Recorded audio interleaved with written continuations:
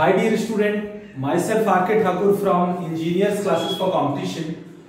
Fluid mechanics video series का आज का वीडियो डियर स्टूडेंट आपके लिए मैं लेके आया हूँ for the topic hydrostatic forces on the surfaces ये टॉपिक डियर स्टूडेंट बहुत इंपॉर्टेंट है कॉम्पिटेटिव एग्ज़ाम्स में इससे ऑब्जेक्टिव और सब्जेक्टिव दोनों क्वेश्चंस पूछे गए हैं तो ये टॉपिक आपके लिए बहुत इंपॉर्टेंट है फ्लूइड मैकेनिक्स का ये टॉपिक इंपॉर्टेंट की कैटेगरी में आता है. So the topic itself is hydrostatic forces on surfaces so dear student इस चैप्टर में, इस टॉपिक में बेसिकली हमारा जो स्कोप ऑफ़ स्टडी होगा, वो होगा कि जो वाटर बॉन्ड स्ट्रक्चर है, या जो पानी के अंदर जो भी स्ट्रक्चर है, या कोई भी सरफेसेस है प्लेट है उस पर पानी बेसिकली एक फोर्स एक्सर्ट करता है. और यू कैन से कि अगर कोई सरफेस पानी के कांटेक्ट में आएगा तो ऑब्वियसली उस सरफेस पे फोर्स एक्सर्ट होगा पानी द्वारा। तो ये फोर्स अपने को कैलकुलेट करना है, जो कि उस वाटर बॉन्ड स्ट्रक्चर के एनालिसिस के लिए बहुत ज़रूरी है। ये जानना कि जो वो पानी में है तो पानी की वजह से या किसी और लिक्विड में, उसकी वजह से उस पर कितना फोर्स एक्ट हो रहा है और क्या वो फोर्स उसके लिए सफिशियंट है। या मीन्स उसके इक्विलिब्रियम के लिए या उसके ऑपरेशन के लिए, वो जिस भी कंडीशन में, क्या उसके लिए वो फोर्स सफिशियंट है? या कुछ मीन्स यू कैन अंडरस्टैंड कि वो फोर्स जानना बहुत ज़रूरी है। वन दूसरा, उस फोर्स का एक पॉइंट ऑफ़ एप्लीकेशन होता है डियर स्टूडेंट तो वो भी जानना बहुत ज़रूरी है, क्योंकि जो स्ट्रक्चर है, वो पानी के अंदर पूरा उसकी लेंथ पूरा एक डायमेंशन है पानी के अंदर, उसका पूरा वॉल्यूम है पानी के अंदर। तो फोर्स जो पानी उस सरफेस पे लगाएगा या उस ऑब्जेक्ट पे लगाएगा तो उस फोर्स का अपना एक पॉइंट ऑफ़ एप्लीकेशन होगा। सो यू नो कि फोर्स को एनालाइज करने के लिए उसका पॉइंट ऑफ़ एप्लीकेशन उसका लाइन ऑफ़ एक्शन राइट और उसका मैग्नीट्यूड और डायरेक्शन ये जानना ज़रूरी है। तो हमें उसका पॉइंट ऑफ़ एप्लीकेशन भी पता होना चाहिए। सो फ़र्स्ट टारगेट इज़ कि उस सरफेस पे कितना फोर्स एक्सर्ट कर रहा है वाटर या कोई लिक्विड अगर वो लिक्विड के कॉन्टैक्ट में है या उसके अंदर सबमर्ज्ड है और ये लिक्विड स्टैटिक होना चाहिए डियर स्टूडेंट मींस ये लिक्विड फ्लोइंग लिक्विड नहीं स्टैटिक लिक्विड होना चाहिए. तो हमें फोर्स निकालना है एंड वही फोर्स हाइड्रोस्टैटिक फोर्स कहलाता है. एंड उस फोर्स का पॉइंट ऑफ़ एप्लीकेशन जिसको हम बोलते हैं सेंटर ऑफ़ प्रेशर तो ये हमें सेंटर ऑफ़ प्रेशर को भी फाइंड करना मीन्स वो कहाँ पे लाई कर रहा है, कहाँ पे वो एग्जैक्टली exactly लोकेटेड है, इसको आपको फाइंड करना है. एंड ये दोनों फाइंड करना है for different shapes of you know objects और यू कैन से कि जो सरफेसेस को हम स्टडी करते हैं इसमें, जो ऑब्जेक्ट है उसका क्रॉस सेक्शन तो हमेशा सरफेसेस ही होगा ना टू प्लेन होगा। तो हम अलग अलग सरफेस के अलग अलग पोजिशन के लिए बेसिकली हम फोर्स मीन्स हाइड्रोस्टैटिक फोर्स और सेंटर ऑफ़ प्रेशर ये दो फाइंड करेंगे। जैसे अगर सरफेस वर्टिकली इमर्ज है पानी के अंदर या लिक्विड के अंदर अगर वो हॉरिजॉन्टली लाई कर रहा है मीन्स हॉरिजॉन्टली बेसिकली वाटर के अंदर लाई कर रहा है, या इंक्लाइंड वाटर के अंदर लाई कर रहा है, और ये सरफेस क्या है? प्लेन सरफेस है राइट सो प्लेन सरफेस के लिए वर्टिकली इमर्स हॉरिजॉन्टली और इंक्लाइंड ये तीन कंडीशन में हमें ये फाइंड करना है कि कितना हाइड्रोस्टैटिक फोर्स लग रहा है उस पर और वो फोर्स कहाँ पे लग रहा है? मीन सेंटर ऑफ़ प्रेशर का लोकेशन एंड एक फर्दर एनालिसिस एक और होता है जो कई बार कॉम्पिटेटिव एग्ज़ाम्स में हायर ऑर्डर पे क्वेश्चंस पूछे जाते हैं। तो आप अगर उसको देखते हो तो वो भी बेसिकली हम इंक्लूड करेंगे। एंड दैट इज़ कि अगर सरफेस कर्व्ड है, अगर सरफेस प्लेन नहीं है, अगर वो कर्व्ड है राइट तो अगर कर्व सरफेस है तो उस पर अगर वो पानी के अंदर है या किसी लिक्विड के अंदर इमर्स्ड है सबमर्स्ड है तो उस पर कितना स्टैटिक फ्लूड उस पर फोर्स कितना लगाएगा और वो फोर्स कहाँ पे एक्ट करेगा। मीन्स इसको हम बोल सकते हैं कि कर्व सरफेस के लिए सेंटर ऑफ़ प्रेशर फाइंड करना और हाइड्रोस्टैटिक प्रेशर फोर्स निकालना। सो डियर स्टूडेंट ये स्कोप है और ऑलमोस्ट हर एक एग्ज़ाम में जो मेरा एक्सपीरियंस है, इससे ऑब्जेक्टिव क्वेश्चन सब्जेक्टिव क्वेश्चन पूछे जाते हैं। और बीटेक में diploma semester BTech semester AMI section भी मैकेनिकल फ्लूइड मैकेनिक्स और S S C JE paper two इन सब में काफ़ी बार क्वेश्चन आए हुए हैं। इनफैक्ट हम एस एस सी जेई के प्रीवियस ईयर के आए हुए क्वेश्चन को एक इसमें सॉल्व कर, करेंगे और एएमआई के भी प्रीवियस ईयर क्वेश्चन को सॉल्व करेंगे।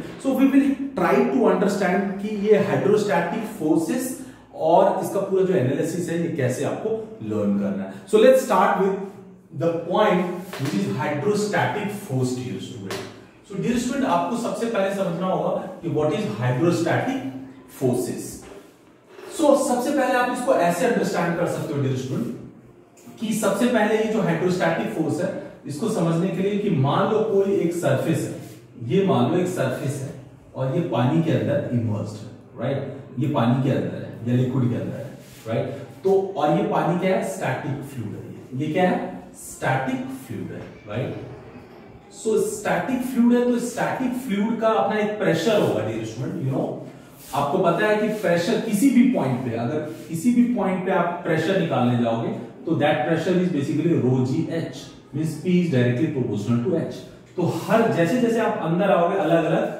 प्रेशर होगा राइट सो अगर मैं इस ऑब्जेक्ट के यहाँ से लेके यहाँ तक की बात करूँ तो ये सारे डिफरेंट डिफरेंट प्रेशर से सब्जेक्टेड है। तो उसी का एक तरह से आप कह सकते हो कि रिजल्टेंट है। मतलब ये जो यहाँ से यहाँ तक का प्रेशर का वेरिएशन है तो यहाँ से यहाँ तक का बेसिकली इन तो उस प्रेशर को एरिया से मल्टीप्लाई करेंगे तो फोर्स आएगा, वही फोर्स बेसिकली सरफेस पे एक्ट करेगा, उन सबका रिजल्टेंट फोर्स हाइड्रोस्टैटिक फोर्स कहलाएगा। Means if you can understand it like कि ये जो वाटर है, ये इस सरफेस ये जो सरफेस कॉन्टैक्ट बना रहा है इस पे एक फोर्स एक्सर्ट करेगा स्टूडेंट ये फोर्स है एफ़ और इसी फोर्स को हम हाइड्रोस्टैटिक फोर्स बोलेंगे राइट सो एफ़ क्या है? Hydrostatic force hydrostatic force so dear student ये हाइड्रोस्टैटिक फोर्स है, और इस, इसका मैग्नीट्यूड हम निकालेंगे। अब क्वेश्चन उठता है कि ये जो हाइड्रोस्टैटिक फोर्स है, जो कि सरफेस पे एक्ट कर रहा है, वो जिस पॉइंट पे एक्ट करता है, उस पॉइंट को क्या बोलते हैं? Centre of pressure dear student centre of pressure so this is centre of pressure and this is hydrostatic force so आपको क्या फाइंड करना है कि एफ़ की वैल्यू कितनी होगी? अलग अलग कंडीशन में।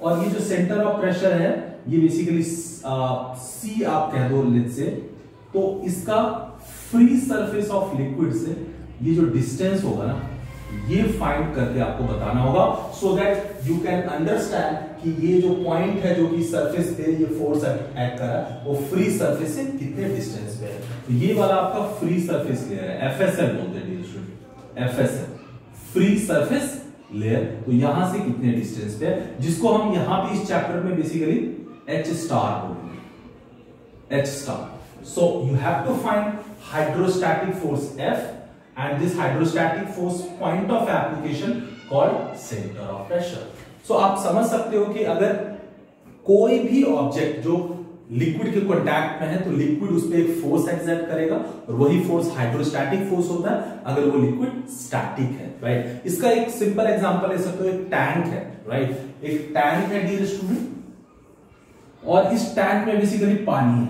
या लिक्विड है, आप कह सकते हो। तो ये जो इसका वॉल है, इस वॉल पे बेसिकली ये पानी फोर्स एक्सर्ट करेगा। राइट इसके वॉल पे एक फोर्स एक्ट करेगा और वही फोर्स आपका हाइड्रोस्टैटिक फोर्स होगा राइट और ये हाइड्रोस्टैटिक फोर्स इस सरफेस के, इस सरफेस के किस पॉइंट पे एक्ट करेगा? फ्री सरफेस लेयर से उसी के डिस्टेंस को एच स्टार बोलेंगे। ये दो आपको बहुत ज़रूरी है बिकॉज़ ये दो अगर पता चल जाए मीन फोर्स और उसका पॉइंट ऑफ़ एप्लीकेशन तो एनालाइज कर सकते हैं। जैसे कि लॉक गेट्स अगर आपने देखा होगा कि बहुत सारे डैम होते हैं और उस पर बेसिकली बहुत सारे गेट्स होते हैं। ओपनिंग के लिए वाटर डिस्चार्ज के लिए। तो गेट की का जो ऑपरेशन है, ये सारे जो गेट है, वो वाटर बॉर्न स्ट्रक्चर है मतलब पानी के अंदर होते हैं। तो अगर उनको ओपन किया जाता है तो ओपनिंग बेसिकली वो हिंज गेट होता है। तो वहाँ पे कई बार एनालिसिस बहुत इंपॉर्टेंट हो जाती है, क्योंकि वहाँ पे लेफ़्ट साइड मतलब आप यू कह सकते हो उसको कि जो अपस्ट्रीम साइड भी फोर्स लगता है डाउनस्ट्रीम साइड भी वाटर होने की वजह से लिक्विड होने की वजह से फोर्स लग रहा है तो ये दोनों फोर्स का पॉइंट ऑफ़ एप्लीकेशन अलग अलग होगा, क्योंकि जो अपस्ट्रीम और डाउनस्ट्रीम जो लेवल होता है वाटर का, वो डिफरेंट होता है। जिसकी वजह से बेसिकली पॉइंट ऑफ़ एप्लीकेशन इन दोनों फोर्स का अलग होगा और डायरेक्शन भी अलग होगा। एक इधर होगा और एक इधर होगा। तो ये ये ये ये बेसिकली एक टर्निंग इफ़ेक्ट प्रोड्यूस करेगा गेट में। तो इन सब के एनालिसिस के लिए बहुत ज़रूरी है बेसिकली लॉक गेट्स के एनालिसिस में बहुत ज़रूरी है और एट द सेम टाइम कोई भी स्ट्रक्चर जो वाटर के कॉन्टैक्ट में लिक्विड के कांटेक्ट में तो उसकी जो स्ट्रेंथ uh, एनालिसिस है उसके लिए भी ज़रूरी है। So let's start with our first concept कि जो स्टैटिक फ्लूइड uh, जो हाइड्रोस्टैटिक फोर्स होता है डियर स्टूडेंट ये क्या होता है? तो देखो डियर स्टूडेंट हाइड्रोस्टैटिक फोर्स को हम कैलकुलेट कर सकते हैं। मैं आपको सीधा बता रहा हूँ कि ये जो एफ़ होगा ना ये एफ़ होता है rho g A h bar you just have to understand क्या होगा? F is equal to rho g h bar now you have to understand कि ये फोर्स क्या होता है? ये मैं कंप्लीट बता चुका हूँ। रो क्या है? जिस लिक्विड में वो इमर्ज्ड उसकी डेंसिटी अगर वाटर है तो ये थाउज़ेंड के जी पर मीटर क्यूब होगा। या अदर लिक्विड है तो उसकी डेंसिटी रो क्या हो जाएगी? Density of liquid g as usual you know this is acceleration due to gravity right A is what A is the area of the surface right A क्या है आपका? Area of the surface A is area of surface so A area of surface हो गया dear g आपको पता ही है acceleration due to gravity है, जिसकी वैल्यू आप यूजुअली क्या लेते हो? 9.81 और मीटर पर सेकेंड स्क्वायर और more approximately 10 metre per second square right rho you know density of liquid right ये डेंसिटी ऑफ़ लिक्विड है। डेंसिटी ऑफ़ लिक्विड और एच बार यहाँ पे बहुत इंपॉर्टेंट है dear what is h bar तो देखो एच बार बेसिकली क्या है? एच बार को बोला जाता है डियर स्टूडेंट कि ये जो ऑब्जेक्ट है ना, इसका अपना एक सेंटर ऑफ़ ग्रेविटी होगा। ये जो सरफेस है, इसका अपना एक सेंटर ऑफ़ ग्रेविटी होगा। Let say centre of gravity है ये। इसको मैं क्या बोलूँगा? जी तो इस सेंटर ऑफ़ ग्रेविटी का फ्री सरफेस से कितना डिस्टेंस है। हमेशा जो रेफरेंस होता है स्टूडेंट वो फ्री सरफेस से हाइड्रोलिक्स में लिया जाता है। तो ये डिस्टेंस को एच बार बोलेंगे। एच बार क्या है? सेंटर ऑफ़ ग्रेविटी का फ्री सरफेस लेयर से डिस्टेंस तो एच बार क्या हो जाएगा? Distance of CG distance of CG of surface CG of surface from from F S L ये बहुत ज़रूरी है। सो h h h bar basically आपको फाइंड करना होता है। देखो, ये जो ऑब्जेक्ट है, ये जो सरफेस है, इसका खुद का सेंटर ऑफ़ ग्रेविटी निकालना बहुत आसान है, क्योंकि ये किसी न किसी फॉर्म ऑफ़ सरफेस होगा, जैसे ट्रायंगुलर होगा सर्कुलर होगा रेक्टेंगुलर होगा, और इन सब में रेक्टेंगुलर ट्रायंगुलर सर्कुलर के लिए सीजी आपको पता होता है। हम ऑलरेडी स्ट्रेंथ ऑफ़ मटेरियल में एक चैप्टर किया हुआ सीजी एम आई वहाँ पे हमने कंप्यूट स्टडी किया हुआ। तो वैसे ही हम सीजी तो आराम से निकाल सकते हैं, यहाँ से कितने पिलाई करेगा? बट आपको एफएसएल से निकालना है तो this distance also sometimes you have to add और depending upon the location and orientation subtract भी करना पड़ सकता है। So that you have to just keep in your mind so dear student ये सिंपल सा फॉर्मूला है कि किसी भी सरफेस पे जो फोर्स लगेगा, वो rho g A H bar होगा राइट सो यहाँ से क्लियर है ये जो हाइड्रोस्टैटिक फोर्स है, वो किस पे डिपेंड करता है? रो जी पे डिपेंड करता है। Rho g mean specific weight भी आप collectively you can say specific weight area पे डिपेंड करता है। More the area more will be the force h bar मतलब कितना अंदर इमर्स्ड है। अगर बहुत ज़्यादा अंदर है तो फोर्स ज़्यादा लगेगा। कम अगर डेप्थ है उसका अंदर तो ऑब्वियसली एच बार कम होगा तो एफ़ भी कम होगा। So this is what the basic hydrostatic force says now comes की ये जो एच स्टार है ना स्टूडेंट ये एच स्टार क्या है? सेंटर ऑफ़ प्रेशर जहाँ पे ये हाइड्रोस्टैटिक फोर्स एक्ट कर रहा है उसका फ्री सरफेस से डिस्टेंस सो so, यहाँ पे बेसिकली आपको चार केस लेना होगा और उन चारों केस में एच स्टार की वैल्यू अलग अलग होगी. लकीली ये जो फॉर्मूला है रोजी ए एच बार जो हाइड्रोस्टैटिक फोर्स का है ये सरफेस या तो हॉरिजॉन्टली इमर्स्ड है हॉरिजॉन्टल ओरिएंटेशन है वर्टिकल ओरिएंटेशन है इंक्लाइंड ओरिएंटेशन है, इन सब में रो जी एच बार ही होगा। बस आपको एच बार उस सिचुएशन में कैलकुलेट करना है और बाकी रोजी और ए तो एजुअल एज यूजुअल रहता है। तो सिर्फ़ एच बार आपको निकालना होता है। और एच बार बहुत ज़्यादा इंपॉर्टेंट हो जाता है इंक्लाइन के केस में राइट इंक्लाइन के केस में एच बार इंपॉर्टेंट होता है। बाकी तो आप बहुत ही सिंपली ज्योमेट्री से निकाल सकते सो so, मेरा ये पॉइंट है आपको समझाने का कि ये जो एफ़ का फॉर्मूला है वो चारों केस में सेम होता है। और वो कौन सा केस है ये मैं मेंशन कर देता हूँ right okay so dear student hydrostatic force और सेंटर ऑफ़ प्रेशर मींस उसका जो पॉइंट ऑफ़ एप्लीकेशन होता है ये दो कैलकुलेट करना है। आपको चार केस में जैसा कि मैंने पहले ही आपको बता दिया एक वर्टिकल प्लेन सरफेस के केस में मींस जो प्लेन सरफेस है, वो वर्टिकली पानी में वाटर में इमर्स्ड है या लिक्विड में। एक हॉरिजॉन्टली वो इमर्स्ड है।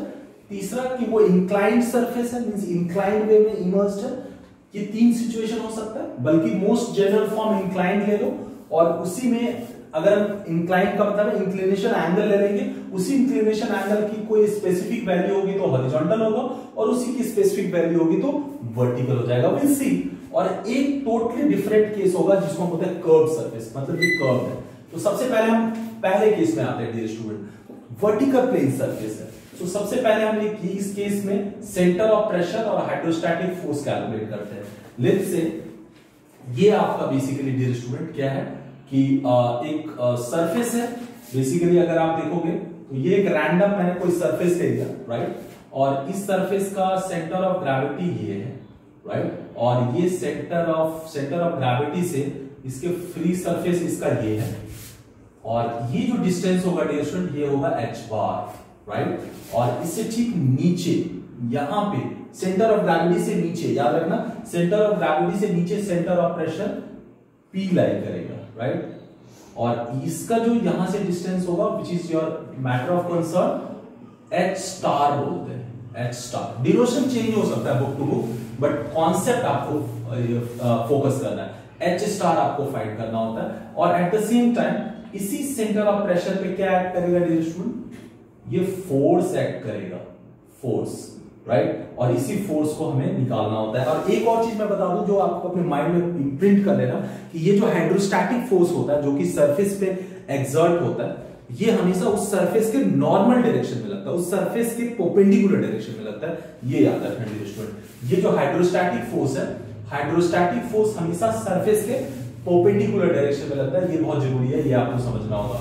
हाइड्रोस्टैटिक फोर्स अगर मान लो, मैं यहाँ पे मेंशन कर देता हूँ इस पॉइंट को कि hydrostatic force hydrostatic force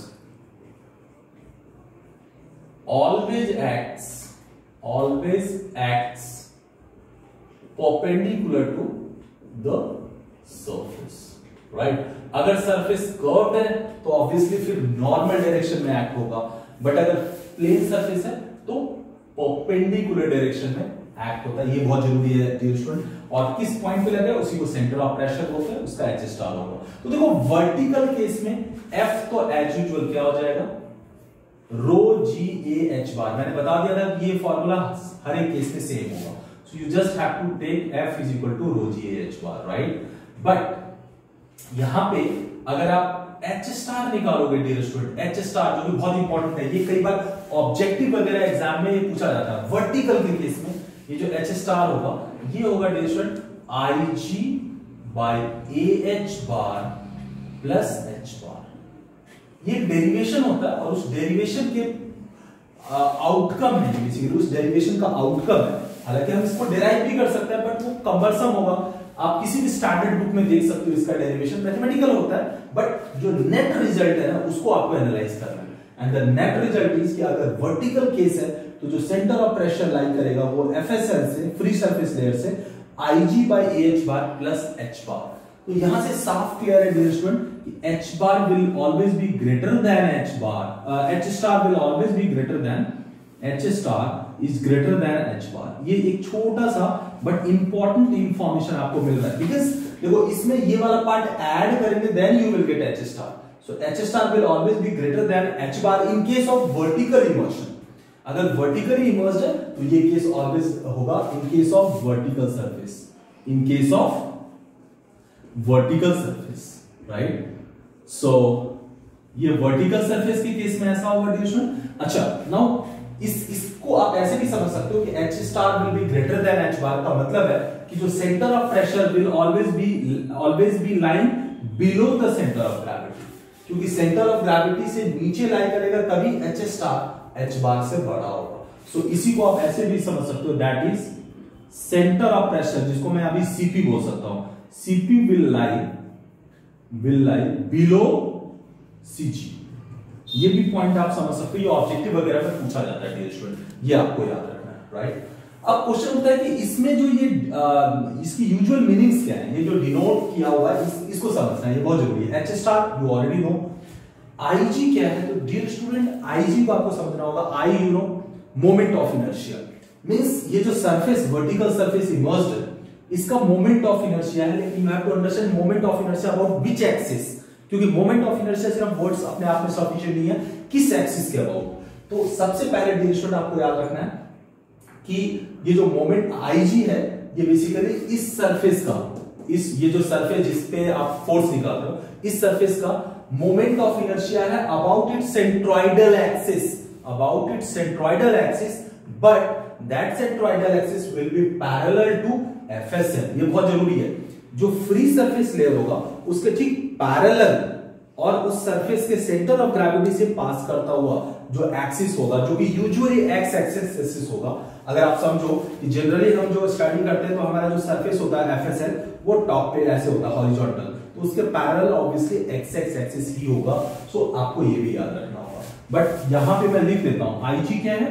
You have to understand IG CG और not CG MI moment of inertia MI of surface about its centroidal axis centroidal axis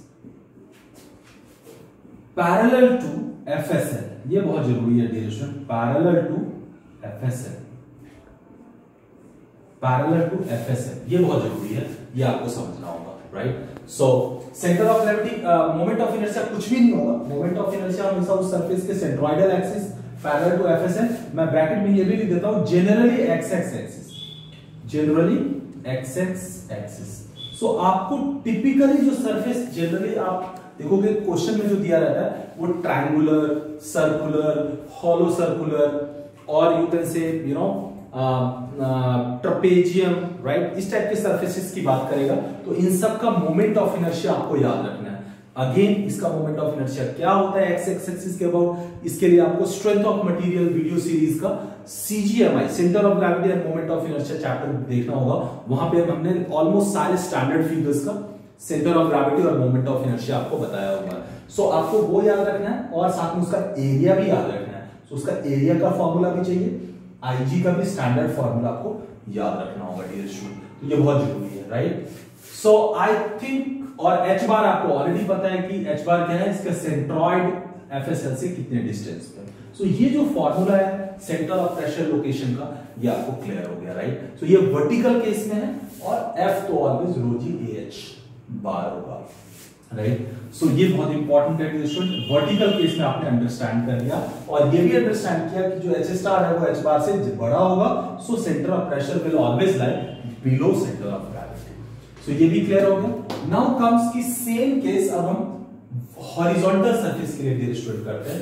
so so, horizontal के लिए अगर हम करते हैं डियर स्टूडेंट तो कैसे करेंगे? ओके सो डियर स्टूडेंट हम सेकंड केस में आते हैं। कि सेंटर ऑफ़ हाइड्रोस्टैटिक फोर्स और सेंटर ऑफ़ प्रेशर लोकेट करना हॉरिजॉन्टल प्लेन सरफेस का।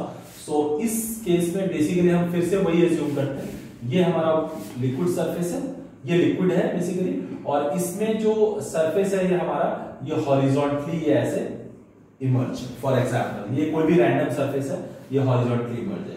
तो इसका जो सेंटर ऑफ़ ग्रेविटी होगा डियर जी और जो सेंटर ऑफ़ प्रेशर होगा पी ये दोनों कॉन्साइड कर जाएगा स्टूडेंट ये हॉरिजॉन्टल होने की वजह से ये कॉन्साइड कर जाएगा बिकॉज़ उसके सारे जो सरफेसेस है ना, वो बेसिकली फ्री सरफेस से इक्वल डिस्टेंस पे तो इसीलिए सेंटर ऑफ़ प्रेशर और सेंटर ऑफ़ ग्रेविटी कॉन्साइड कर जाएगा। तो ये मेंशन कर देता हूँ मैं। P and G will coincide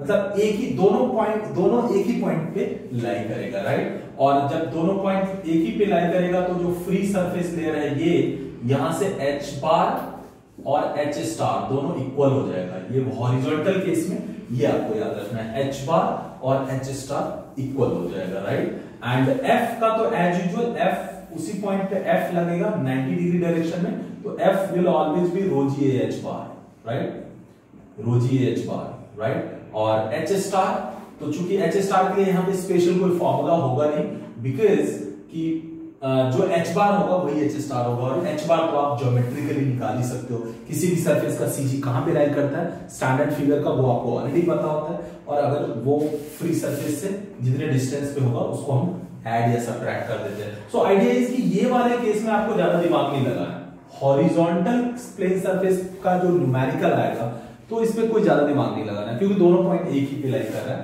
और फोर्स का ये फॉर्मूला होगा और सेंटर ऑफ़ प्रेशर और एच बार और एच स्टार सेम हो जाएगा राइट इसका केस आप ऐसे समझ सकते हो डियर स्टूडेंट ये वाला जो वर्टिकल वाला केस है वो तो कहीं पे भी आप लिख सकते हो। एक एक कंटेनर को ही देते हैं तो कंटेनर का जो वर्टिकल वॉल है, वो वर्टिकल वॉल बेसिकली ये वाला केस मतलब इस इस केस को क्वालिफाई करेगा। और उसका जो बॉटम सरफेस है ना डियर स्टूडेंट जो कंटेनर का बॉटम सरफेस है, अगर मैं ऐसे समझाऊं आपको, ये कंटेनर है और इसमें लिक्विड है।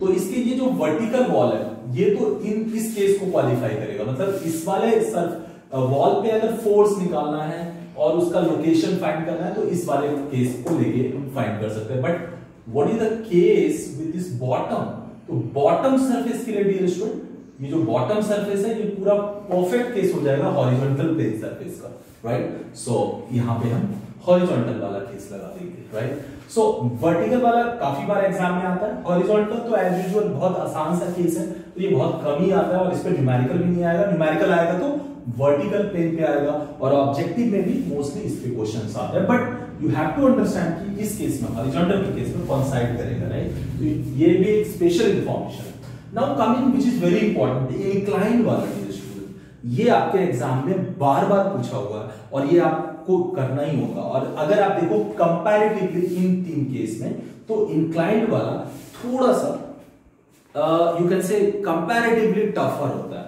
कंपैरेटिवली टफ होता है। वाई बिकॉज़ ये इंक्लाइंड होने की वजह से ये जो एच बार और एच स्टार की जो वैल्यू आएगी स्पेशली जो एच बार होगी वो बेसिकली डायरेक्ट आपसे नहीं निकलेगा। आपको बेसिकली ज्योमेट्रिकली कुछ इंटरप्रिटेशन करना होगा। वही बेसिकली उसमें एक्स्ट्रा एफर्ट होता है। सी कि कैसे आपको निकालना है। सबसे पहले हम ये केस लेते हैं dear student right so okay so dear student अभी हम थर्ड केस में आ रहे हैं। थर्ड केस बहुत इंपॉर्टेंट है। इसको थोड़ा अटेंशन एक्स्ट्रा अटेंशन पे करके अंडरस्टैंड करो।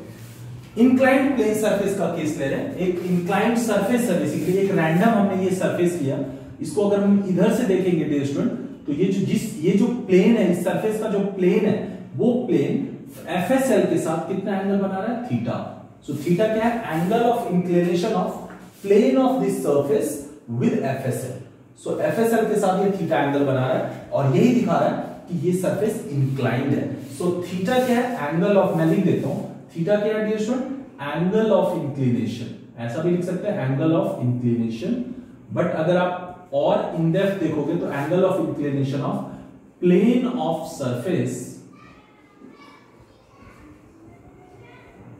with FSL FSL के साथ फ्री सरफेस लेयर के साथ थीटा एंगल ऑफ़ इंक्लिनेशन है, ये दिया रहेगा राइट सो नाउ लेकिन हमारा एच बार और एच स्टार हमेशा वर्टिकली ही कैलकुलेट कर होगा। सरफेस बेशक इंक्लाइंड है बट हमारा जो एच बार और एच स्टार है, इस फॉर्मूले में वो अभी भी वर्टिकल ही कैलकुलेट होगा। बट होगा क्या? आपको बेसिकली ये वाला, ये क्या है? डियर स्टूडेंट ये आपको अंडरस्टैंड करना होगा। ओके सो डियर स्टूडेंट यहाँ पे आपको अंडरस्टैंड करना है। कि जो फोर्स बेसिकली अगर आपको इधर से इसका व्यू देखोगे तो ये एक सरफेस दिख रहा है जो कि एफएसएल से थीटा इंक्लाइन है। तो इसका जो सेंटर ऑफ़ ग्रेविटी होगा लेट से यहाँ है तो सेंटर ऑफ़ ग्रेविटी एफएसएल से जो वर्टिकल डिस्टेंस होगा, वो एच बार है। और ये सेंटर ऑफ़ प्रेशर इसके ठीक नीचे है।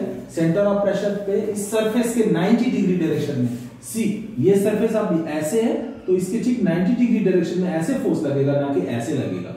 हम जनरली वर्टिकल के केस में हमारा एफ़ ऐसे लगता है बट अगर सरफेस इंक्लाइंड है तो इसके ठीक 90 डिग्री डायरेक्शन में हाइड्रोस्टैटिक फोर्स लगेगा। एंड इस हाइड्रोस्टैटिक फोर्स का जो पॉइंट ऑफ़ एप्लीकेशन है, उसका फ्री सरफेस लेयर से डिस्टेंस एच स्टार है। सो एफ़ हाइड्रोस्टैटिक फोर्स तो रो जी एच बार होगा।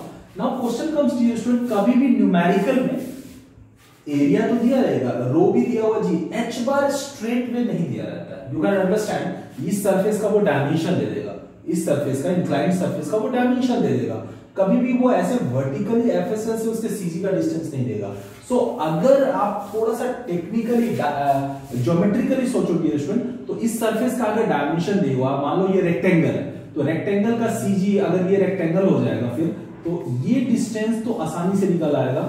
इसको मैं बेसिकली क्या बोल सकता हूँ? वाई बार ये डिस्टेंस फॉर एग्जांपल ये टोटल है थर्टी तो ये वाई बार ऑब्वियसली सीजी है तो ये 15 हो जाएगा।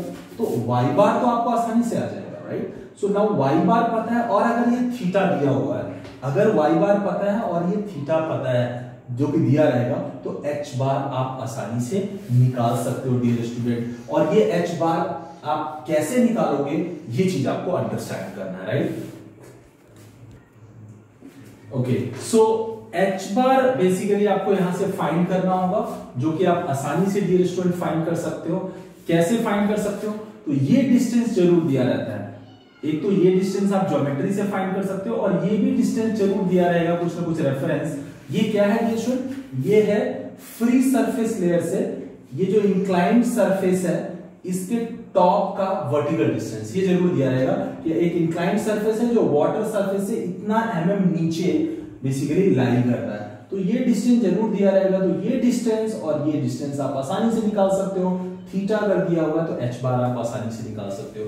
कई बार आपको अगर एच बार दिया हुआ है और ये तो आप निकाल भी सकते हो तो फिर आपको कई बार थीटा भी निकालना होता है। तो यहाँ पे बेसिकली अगर थीटा दिया हुआ है तो एच बार निकालना है। एच बार दिया हुआ है तो थीटा निकालना होता है।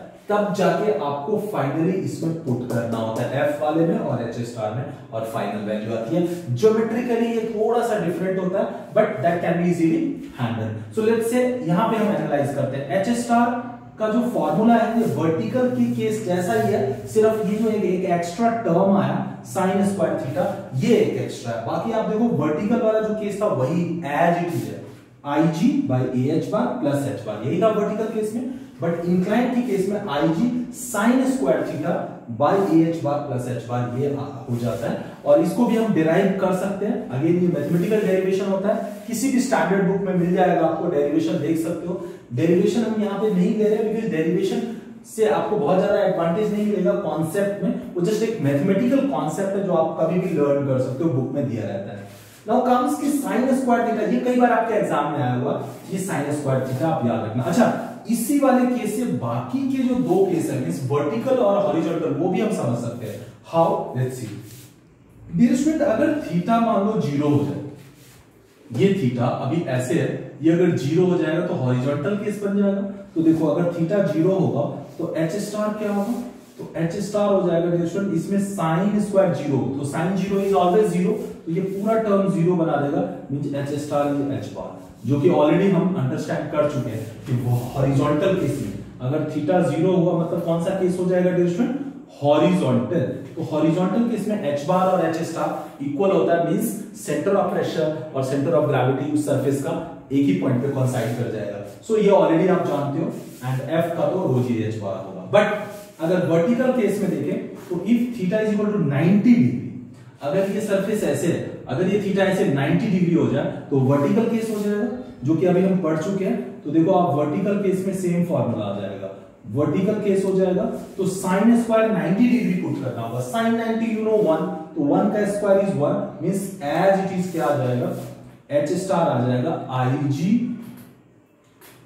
by A H bar plus H bar तो मेरा यहाँ पे आपको ये समझाने का मतलब है कि अगर मैं इंक्लाइंड वाला फॉर्मूला याद रखूँ और उसमें थीटा ज़ीरो और नब्बे पुट करके हॉरिजॉन्टल और वर्टिकल वाला भी एच स्टार निकाल सकता हूँ। हालाँकि आप अलग अलग भी याद रख सकते हो। So this is the most general case और यहाँ से आप इजीली फाइंड कर सकते हो। तो ये जो तीन केस है ना डियर स्टूडेंट इस पे बेसिकली आपके एसएससी जेई सब्जेक्टिव में बहुत स्कोप बनता है। हालाँकि क्वेश्चंस ज़्यादा नहीं आया एक बार हमारे, मेरे पास अवेलेबल है बेसिकली प्रीवियस ईयर का। उसमें एक बार क्वेश्चन आया हुआ। और आपको मैं अगेन सजेस्ट करूँगा कि वर्टिकल और इंक्लाइन के दो प्रैक्टिस करना, उसमें भी इंक्लाइन पे ज़्यादा क्वेश्चन प्रैक्टिस करना, क्योंकि ये ज़्यादा स्कोप बनता है। कर्व सरफेस थोड़ा सा एडवांस लेवल की चीज़ है। एडवांस लेवल मीन बहुत ज़्यादा नहीं है सिंपल कॉन्सेप्ट तो वही है, लेकिन इसकी जो आस्किंग फ्रीक्वेंसी है, इस क्वेश्चन की कम होती है। बट एएमआई सेक्शन बी और अगर आप आईएएस e वगैरह की बात करो तो वहाँ पे इसका स्कोप बन जाता है।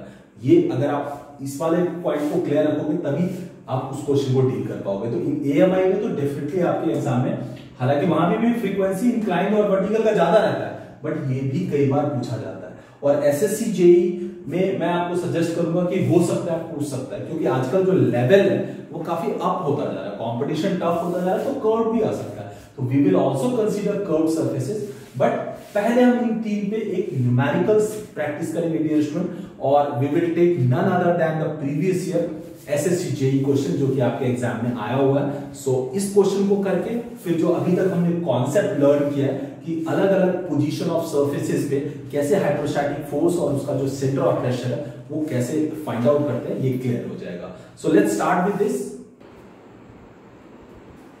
okay so dear student previous year SSC JE paper two में एक क्वेश्चन आया हुआ। जो कि हाइड्रोस्टैटिक फोर्सेस ऑन सरफेस पे ही बेस्ड क्वेश्चन है।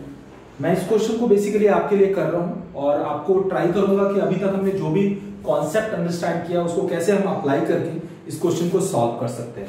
अच्छा क्वेश्चन है एंड अगेन जैसा मैंने आपको बताया था कि इंक्लाइंड वाला ज़्यादा चांसेस रहता पूछने का। हालाँकि वर्टिकल भी आता है बट इंक्लाइंड के ज़्यादा केसेस आते हैं और लकीली ये वही इंक्लाइंड वाला केस है स्टूडेंट और जैसा मैंने बताया था आपको कि लॉक गेट और स्लूस गेट इन इस पे बेसिकली इस फोर्सेस और इसका जो पॉइंट ऑफ़ एप्लीकेशन है इसके एनालिसिस का ज़्यादा इंपॉर्टेंस है। वही बेसिकली एग्जैक्टली क्वेश्चन है। प्रैक्टिकली वही क्वेश्चन है। स्लूस गेट का है बेसिकली सो so, मैं आपके लिए ये क्वेश्चन रीड आउट कर रहा हूँ डियर स्टूडेंट क्वेश्चन कह रहा है an inclined rectangular sluice gate four metre wide into one metre deep has been installed to control the discharge of water. Full stop. The upper end A is hinged and lies at a distance of 2 meter from the free surface of the water. Full stop. What force normal to the gate should be applied at the lower end B to open? So dear student ये बहुत ही practical case का numerical है। एक rectangular sluice gate है जो basically discharge को control करने के लिए यूज़ किया जाता है। मैंने आपको बताया था ये गेट है स्लूस गेट है। अगर आपको डिस्चार्ज को निकालना है तो उस इससे आप कंट्रोल कर सकते हो। पानी को जाने दे सकते हो या रोक सकते हो। सो so, ये गेट है ऑब्वियसली गेट है तो हिंज हो गई।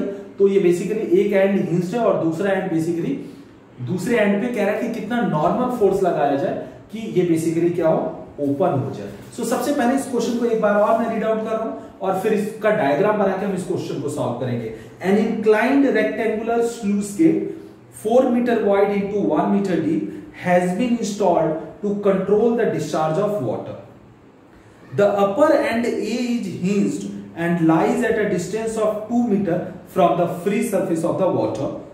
What force normal to the gate should be applied at the lower end B to open it. So let's start with this numerical dear student. आपको मैंने पहले भी बोला था कि किसी भी न्यूमेरिकल को सॉल्व करने के लिए पहले उसका गिवन डेटा और इफ़ पॉसिबल उसका एक डायग्रामेटिक रिप्रेजेंटेशन आपको करना होगा सो लेट्स स्टार्ट विद हम इस क्वेश्चन को सॉल्व करने जा रहे हैं सो सॉल्यूशन एंड सबसे पहले हम इस डायग्राम को ड्रॉ करने की कोशिश करेंगे, क्योंकि इंक्लाइंड के केस में जब न्यूमेरिकल करोगे ये इंक्लाइंड रेक्टेंगुलर स्लूस गेट है तो सबसे पहले डायग्राम ड्रॉ करना होगा। इंक्लाइंड के केस में बिना डायग्राम ड्रॉ किए आप क्वेश्चन सॉल्व नहीं कर सकते हो और ना ही ना ही एडविजिबल है। सो so, सबसे पहले डियर स्टूडेंट ये वाटर का लेवल है for example free surface layer है राइट और ये आपका रेक्टेंगुलर स्लूस गेट है ये इंक्लाइंड है ये मैंने दिखा दिया रेक्टेंगुलर स्लूस गेट है ये आपका स्लूस गेट है। और इसका एक एंड है ए जो कि हिंज्ड है हिंज का मतलब है पिंड है।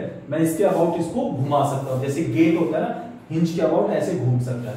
तो ये बेसिकली इसके अबाउट ऐसे ऐसे हिंज हो सकता है। और इसका दूसरा एंड ये है बी राइट सो ये क्वेश्चन और ये रेक्टेंगुलर रेक्टेंगुलर है मींस इसको अगर मैं ऐसे देखूँ तो ये कुछ ऐसे आएगा डियर स्टूडेंट इसमें साइज़ दिया हुआ कि four metre wide and one metre deep so आपको यहाँ पे स्मार्टली अंडरस्टैंड करना होगा कि फोर मीटर वाइड है।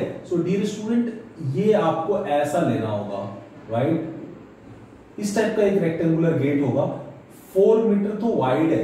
ये इसका क्या है? फोर मीटर वाइड है। और ये बेसिकली डीप पानी के अंदर बेसिकली ये इसकी डेप्थ होगी। तो हमारा ये वन मीटर क्या है?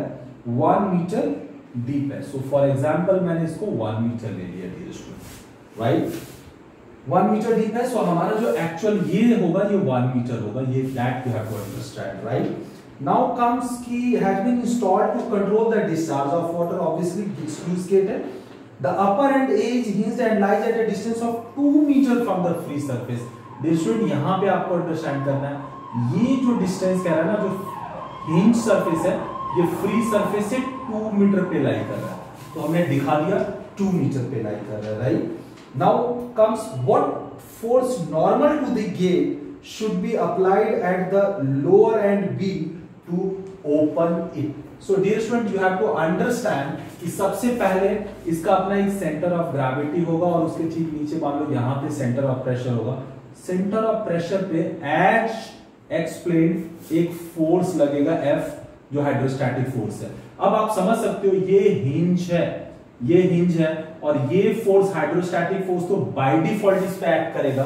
तो इसको ओपन करने के लिए इस सरफेस के नॉर्मल डायरेक्शन में बी पे मुझे फोर्स लगाना है। तो ऑब्वियसली मुझे किधर लगाना होगा?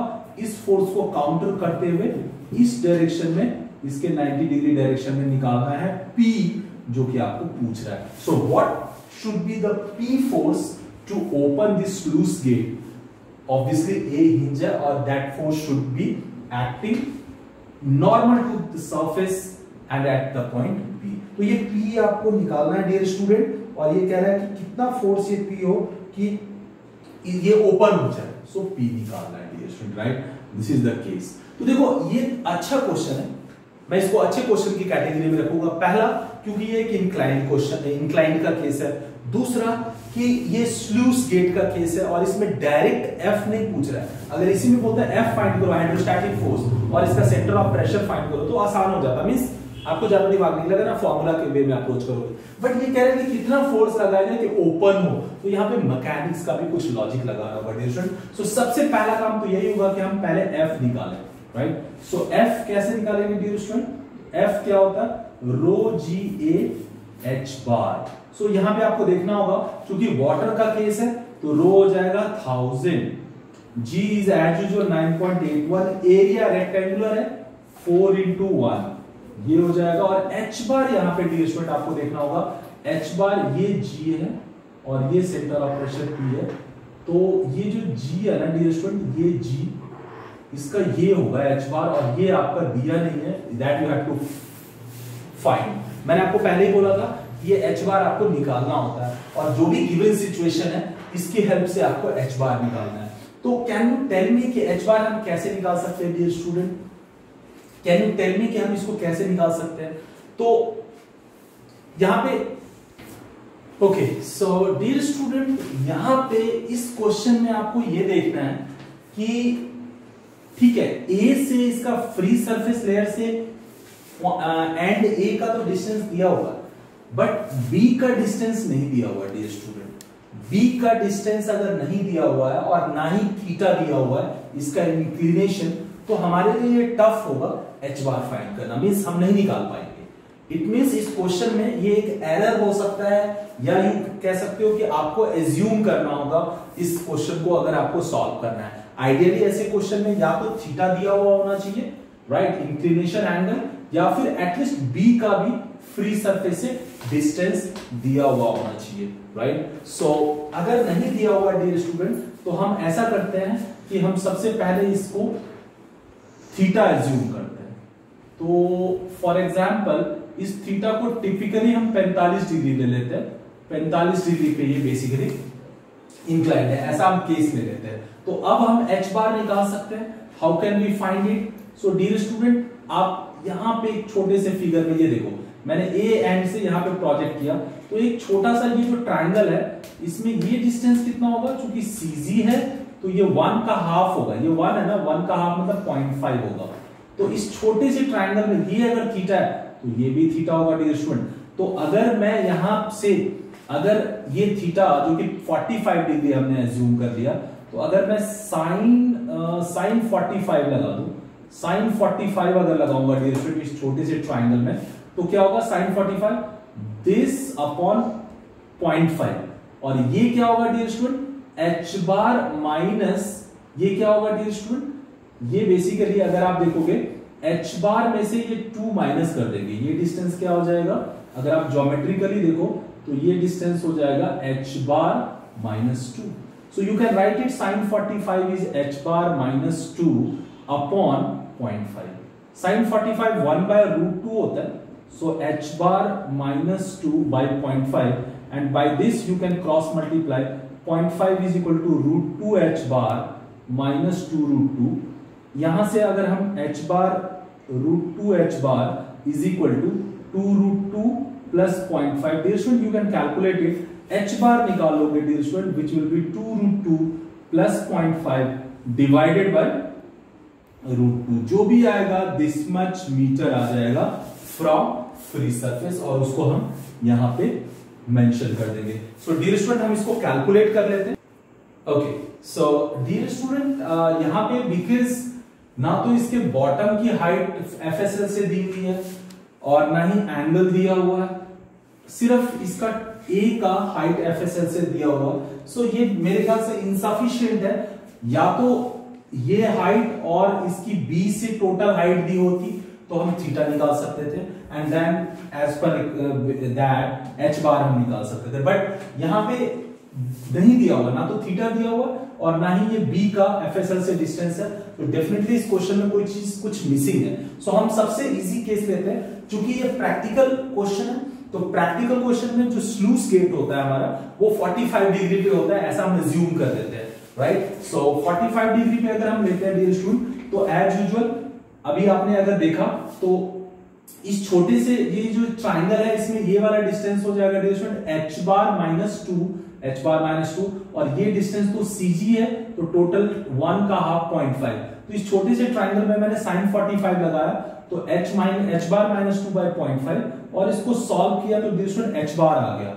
नाउ एफ़ हम इजीली निकाल सकते हैं, जो कि इस सरफेस के सेंटर ऑफ़ प्रेशर पे 90 डिग्री डायरेक्शन में लगेगा which is row ji H bar हमने सारा वैल्यू पुट कर दिया एफ़ की वैल्यू ये आ गई dear student so this is what hydrostatic forces now H star कैसे निकालेंगे डियर स्टूडेंट मींस ये जो एच स्टार है, आप ऐसे इसको समझ सकते हो. How can we mention it ये डिस्टेंस है एच स्टार ये.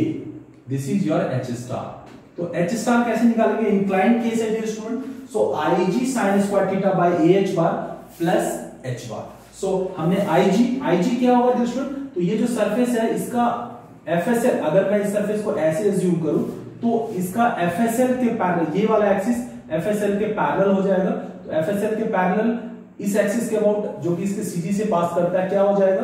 बीडी क्यू बाय ट्वेल्व तो बी हो जाएगा स्टूडेंट फोर और कट किसको कर रहा है? वन को। तो B D cube by twelve I G हो जाएगा। Sine square forty five area is four four into one which is four और H bar you already have found 2.35 plus H bar इस पूरे को सॉल्व किया dear student तो H star आ गया right now this is not the exact answer जो exact answer है, वो इस क्वेश्चन की यूएसपी है ये कह रहा है कि ये पी फोर्स कितना बी पे लगाया जाए कि ये इस हिंज ए के अबाउट ओपन हो जाए। तो डियर स्टूडेंट ये बहुत सिंपल सा केस है। एफ़ आपको पता चल गया। नाउ इस सरफेस इस सरफेस पे दो फोर्स लग रहा है। एक पी और एक एफ़ एफ़ तो हाइड्रोस्टैटिक फोर्स है और पी आप एक्सर्ट करना चाहते हो उसको ओपन करने के लिए। और ओपन किसके अबाउट होगा? हिंज के अबाउट प्रैक्टिकली क्योंकि कोई भी चीज़ हिंज है तो अगर आप फोर्स लगाओ तो हिंज के अबाउट ओपन होगा। तो सिंपल है। अगर ये ओपन होगा तो मोमेंट की, वजह से ही तो ओपन होगा। तो अपने को P का A के अबाउट मोमेंट निकालना है और जो मोमेंट आएगा वो इक्वेट कर देंगे F का A के अबाउट मोमेंट के। मींस जो F A पे एक मोमेंट क्रिएट करेगा इफ़ यू कैन सी ये एंटी क्लॉकवाइज डायरेक्शन में F, A के अबाउट एक मोमेंट क्रिएट करेगा एंटी क्लॉकवाइज डायरेक्शन में which is F into P A which is F into P A ये जो एंटी क्लॉकवाइज मोमेंट है, यही बेसिकली इसको ओपन नहीं होने देगा अगर P आप लगा रहे हो तो। तो P आपको इतना लगाना है कि P का भी जो मोमेंट होगा क्लॉकवाइज डायरेक्शन में ए के अबाउट वो इसके एंटी क्लॉकवाइज को काउंटर कर दे मींस एटलीस्ट इक्वेट कर दे। तो ये अबाउट टू ओपन हो जाएगा। राइट और यू कैन से ओपन हो जाएगा. सो सिंपल यहाँ पे लॉजिक क्या लगाएँगे स्टूडेंट टेकिंग मोमेंट यहाँ पे, यही इसका मेन पॉइंट है. आपको एफ़ पी निकालना है. So taking moment about A point A point के अबाउट मोमेंट लेंगे तो जो हमारा पी है पी इंटू ये क्या हो जाएगा? ए बी ये एंटी क्लॉक ये क्लॉकवाइज मोमेंट होगा. Is equal to F into distant P A ये छोटा सा बट बहुत ही इंपॉर्टेंट कॉन्सेप्ट है। ये आपको समझना होगा। जब भी स्लू स्टेट में एनालाइज करते हैं तो ये मोमेंट आपको अंडरस्टैंड करना होता है। उसके लिए ओपनिंग के लिए। नाउ पी तो आपको निकालना है distant A B A B you already know what is A B point one is equal to F now you have found it 9 to two one four right और PA dear student PA कैसे निकालेंगे? तो यहाँ पे थोड़ा सा और देखना होगा। पीए कैसे निकालेंगे? अगर मैं एक अलग से फिगर बना दूँ, ये है। ये है पी और ये है ए सो डियर स्टूडेंट अगर मैं इसको ऐसे ज्वाइन कर दूँ तो और एफ़ एस एल ये है। यहाँ से ये डिस्टेंस है आपका क्या? टू राइट और अभी ये एच स्टार आपने निकाल दिया कितना? H star is two point three six seven two point three six seven so obviously dear student ये क्या हो जाएगा? ये हो जाएगा पॉइंट थ्री सिक्स सेवन क्या हो जाएगा? पॉइंट थ्री सिक्स सेवन और ये एंगल तो as it is forty five degree ही रहेगा. So now you can easily find यहाँ पे यहाँ पे यहाँ पे साइन 45 डिग्री यहाँ पे आपको क्या करना है डियर स्टूडेंट साइन 45 डिग्री लगाना है. साइन 45 डिग्री तो ये क्या हो जाएगा? Point three six seven divided by AP divided by AP because AP आपको नहीं पता है तो एपी निकालने के लिए ये कॉन्सेप्ट लगाना होगा। ये छोटा सा बट एक इंपॉर्टेंट कॉन्सेप्ट है, आपको ज्योमेट्रिकली समझना होगा। मैंने क्या किया डियर फिर से एक्सप्लेन कर रहा हूँ। ये ए एंड जो कि हिंज्ड एंड है, और ये पी सेंटर ऑफ़ प्रेशर है। तो एपी वाले पोर्शन को दिखाया। एफएसएल ये है। एफएसएल से ये point two point three six seven है, और यहाँ से ए टू है। तो ऑब्वियसली ये वाला डिस्टेंस क्या हो जाएगा? Two point three six seven minus two which is point three six seven ये डिस्टेंस आपको निकालना ही है। ये एंगल 45 डिग्री होगा। मैंने साइन लगा दिया। Sine 45 degree is point three six seven by AP so now you can find AP क्या हो जाएगा dear student point three six seven by sine forty five now this you can calculate dear student अगर point three six seven को sine forty five से हम divide कर सकते हैं, sine forty five one by two तो यहाँ पे मैं लिख देता हूँ। पीए क्या हो जाएगा? Point three six seven divided by sine 45. Now, with this expression, you can find the value of P, which will be the final answer, dear student, right? So, okay. So, dear student, again, P into AB is equal to F into PA. Moment को equate किया हमने. P into AB is 1. F already you have found 92214.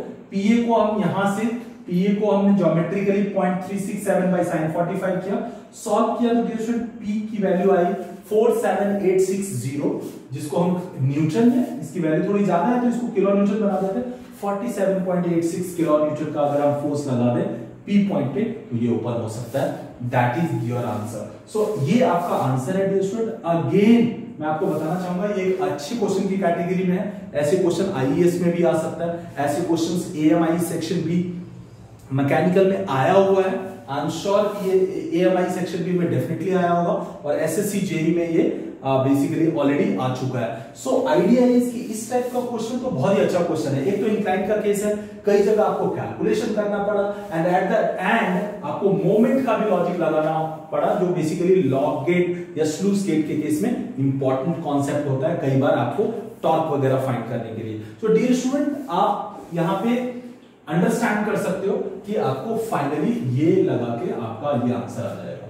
So again मैं आपको बताना चाहूँगा कि इसमें कहीं पे कैलकुलेशन अगर एरर हुआ होगा बिकॉज़ मैंने इसको फ्लो में आपके लिए सॉल्व किया है। यस yes, मैंने कोशिश करी है इसको कैलकुलेट करने की बट कहीं पे अगर कुछ कैलकुलेशन एरर की वजह से कहीं पे कुछ मेजर माइनर चेंज होगा तो आप कमेंट बॉक्स में डेफिनेटली आप कमेंट कर सकते हो। आपकी कमेंट्स आनी चाहिए, जिससे कि ये पता चले कि you you guys are engage and involve आप इसको सॉल्व कर रहे हो। सो आई होप ये आंसर सही होना चाहिए बट स्टिल आप एक बार ट्राई करना और आंसर शेयर करना। अगर सेम आ रहा है so that also you should share right so this is what the previous year SSC JE question बहुत अच्छा क्वेश्चन है, मैं इसको अच्छे क्वेश्चन की कैटेगरी में डालूँगा। डिप्लोमा वाले स्टूडेंट्स के लिए अलार्म है। अगर आप डिप्लोमा कर रहे हो बाय डिफ़ॉल्ट 80 70 80 परसेंट स्टूडेंट्स का न्यूमेरिकल वीक होता है। आप एसएससी जेई आपके लिए बना हुआ है, अगर टेक्निकली देखा जाए, क्योंकि उसमें डिप्लोमा की रिक्वायरमेंट होती है मिनिमम क्वालिफिकेशन तो उनके लिए ये इस टाइप के क्वेश्चन की अच्छी प्रैक्टिस चाहिए। और किसी भी स्टैंडर्ड बुक में इंक्लाइंड के जितने केसेस हैं, उन सबको सॉल्व कर लो including lock gate and sluice gate तो आपका डेफिनेटली हो जाएगा। और एएमआई सेक्शन भी मैकेनिकल फ्लूड में ये क्वेश्चन कई बार आया हुआ है। लॉक गेट का स्लूस गेट का। और एक और चीज़ मैं बताऊँ, अगर यही केस वर्टिकल होता डियर स्टूडेंट तो फिर से कई बार आप देखोगे वर्टिकल के केस में अगर ये वर्टिकल होता लॉक गेट तो डाउनस्ट्रीम साइड पानी का ये लेवल है राइट और अपस्ट्रीम साइड तो चलो पानी बहुत ज़्यादा होता है राइट तो इस केस में देखो, ये वाला एफ़ अगर आप देखो तो ये एफ़ मान लो यहाँ पे एक्ट कर रहा है राइट और ये वाला एफ़ मान लो यहाँ पे एक्ट कर रहा है इस डायरेक्शन में। तो ये दो एफ़ बेसिकली क्या क्रिएट करेगा यहाँ पे? बेसिकली अगर आप देखोगे तो यहाँ पे एक टर्निंग इफ़ेक्ट भी प्रोड्यूस करेगा राइट और ये टर्निंग इफ़ेक्ट कई बार आपको निकालना होता है। सो so, ऐसे क्वेश्चंस आपको किसी भी बुक में मिल जाएगा डेफिनेटली आप उसको प्रैक्टिस कर सकते हो। So this is whole your horizontal surface, inclined surface and vertical surface और उस पे based numerical now dear student the final point is curved surface जो कि हम अब देखेंगे राइट बट इससे पहले मैं एक और क्वेश्चन करना चाहूँगा, जो कि वर्टिकल का और एक इंक्लाइन का, जिससे कि आपको उसकी क्लैरिटी मिल जाए right so okay so dear student मैं एक वर्टिकल केस का न्यूमेरिकल आपको एक्सप्लेन कर रहा हूँ और एक इंक्लाइन केस का हम बेसिकली देखेंगे। और इंक्लाइंड और वर्टिकल के दोनों एक एक न्यूमेरिकल करने के बाद फिर हम कर्व सरफेस पे एनालिसिस देख के फिर इस टॉपिक को क्लोज करेंगे।